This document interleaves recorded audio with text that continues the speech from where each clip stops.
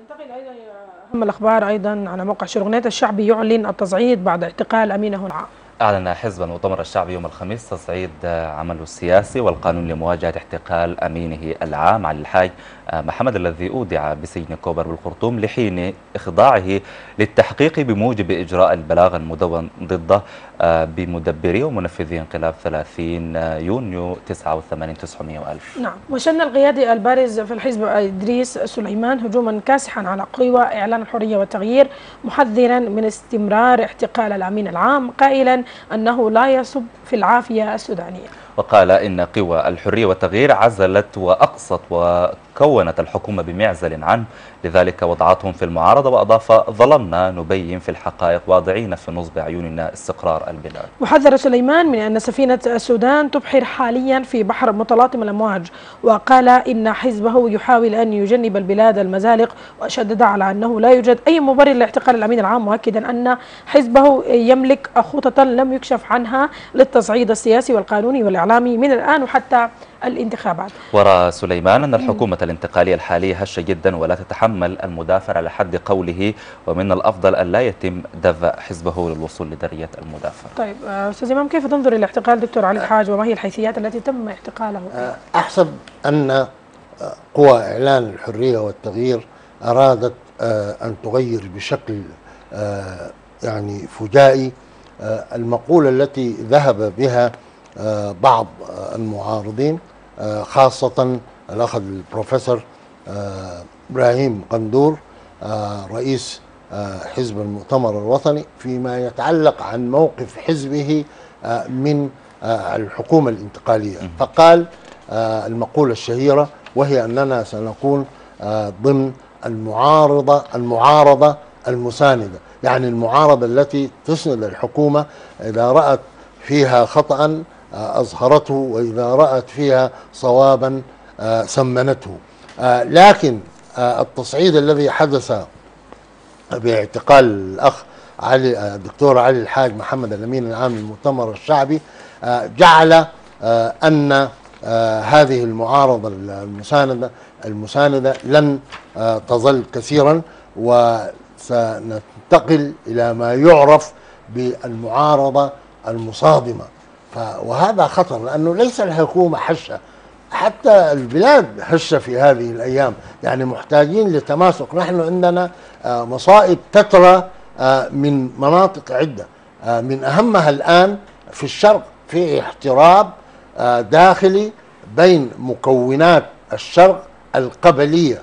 يعني هذه المكونات القبلية تناحرت مع بعضها البعض ففي حاجة إلى لحمة آه وطنية تساهم في إخماد مثل هذه النيران. نعم. آه لكن بجعل آه يعني المؤتمر الصحفي بتاع الأخ آه آه آه الأخ السفير آه إدريس. إدريس, آه إدريس سليمان آه كان آه مركزا على آه ما يح ما حدث لأمين عام الحزب وموجهات آه ال ال التي سيعمل بها الحزب. آه لكن في المساء عقب الساعة الثامنة صدر بيان خطير من حزب المؤتمر الشعبي الذي آه أعلن أنه منذ اللحظة سيكون معارضا لهذه الحكومة معارضة شرسة. فهذا يعني يعني يلقي بظلال يعني صعبة على هذه الحكومة التي هي في حاجة مسيسة إلى تلاحم القوى الوطنية معها لتعبر المرحلة الانتقالية في الفترة المحددة لها.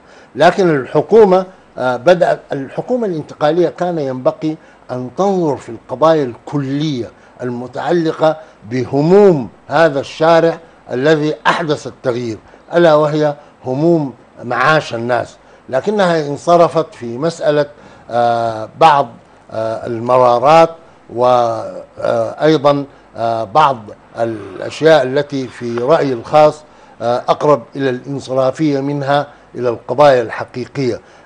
علها بعض الانتقادات التي وجهت خلال اليومين الماضيين تستدرك هذا الأمر وتعمل على إطلاق سراح الأخ علي الحاج. وتحاول أن تطلق مبادرة وطنية آه، لإحداث قدر من الإجماع الوطني حول القضايا الكبرى المتعلقة بمعاش الناس بالاقتصاد بالأمن. هذه هي القضايا التي آه، تؤرق أذهان الناس خلال هذه الفترة الانتقالية. أها لكن أستاذ إمام يعني في عقلية المشاهد السودان قد تدور بعض الأسئلة يجب أن نؤكد عليه من خلال حديثك. ذكرت أن هنالك كان هنالك خطاب شديد اللهجة ولديه بعض المحاذير. هل يعارض الحكومة الانتقالية الآن كما سميتها أنت بالهشة؟ بالنسبة لأي شيء يعني يعارض الحكومة يعني؟ أولا لم أسميها بالحشة هذا التوصيف يجمع عليه كثير من مراقبي الشأن السياسي السوداني داخل السودان وخارجه والدليل على ذلك ما تمر به آه، الساحة السياسية آه، من اضطرابات آه، لم تستطع الحكومة أن تجعل كل هؤلاء يصطفون حولها. هذا أمر. الأمر الثاني عندما يصدر بيان ويقول أنه سيكون معارضا لهذه الحكومة. هذه الحكومة آه، تريد أن آه، تجمع الناس لكي تعبر المركب آه، من مخاض هذا البحر بصورة فيها قدر من السلامة. الحزب المؤتمر الشعبي أصلا هو حزب معارض ولكن عندما يؤكد هذا المؤكد هذا دليل على نقلة نوعية في كيفية المعارضة. آه، لا أدري هل هي معارضة آه، بالهتافات آه، معارضة بالمواكب معارضة بالاحتجاجات. هذه متروكة للحيثيات التي نتلقاها كوسائط صحفية وإعلامية تقليدية وحديثة من قيادات حزب المؤتمر الشعبي. لكن الذي أقوله أن الحكومة ليست في حاجة إلى مثل هذه المعارضة في الوقت الراهن. هي محتاجة إلى تكاتف آه، تنتقل من مرحلتين مهمتين. المرحلة الأولى آه، تحاول معالجة المشكل الاقتصادي المتعلق بمعاش الناس ثم لتنتقل المرحلة الثانية لإعداد المناخ العام والبيئة الصالحة الموائمة لإجراء انتخابات حرة شفافة يشارك فيها الجميع.